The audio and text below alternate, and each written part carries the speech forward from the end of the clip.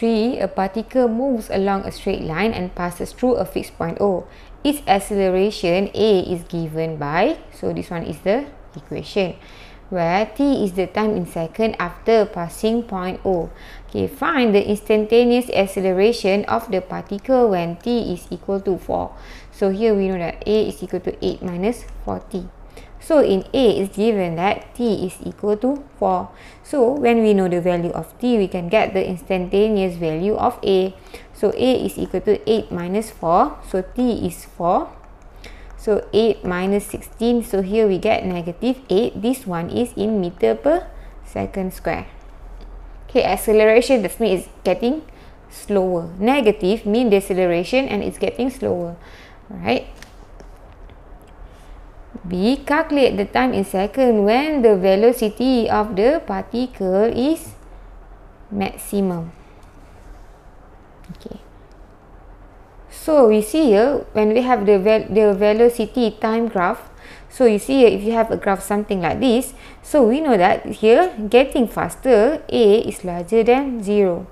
Getting smaller A is smaller than 0 but there must be a peak point before from larger getting to smaller. So at the peak point a is equal to 0 so here velocity is maximum then a is equal to 0 and then for b when a is equal to 0 so we have 8 minus 40 is equal to 0 for t is equal to 8 then t is equal to 8 over 4 which is equal to 2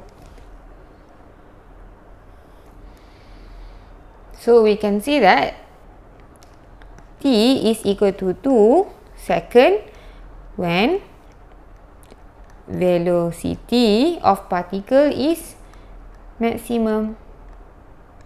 Alright C. Determine the range of time in second when the velocity of the particle is increasing. So we see here velocity is increasing. You see here velocity is increasing. That means A. You see A is larger than 0 when velocity is increasing. This one A is larger than 0. So here we say A is equal to 8 minus 40. When A is larger than 0, that means 8 minus 40 is larger than 0 okay. So here you must be very careful with the negative of the uh, this one variable.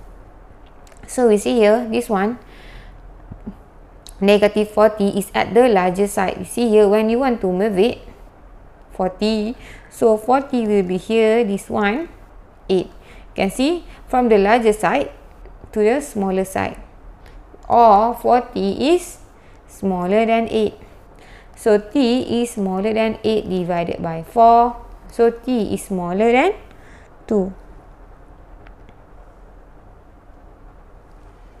So we see here the range of time. So range of time when velocity is increasing is T is smaller than 2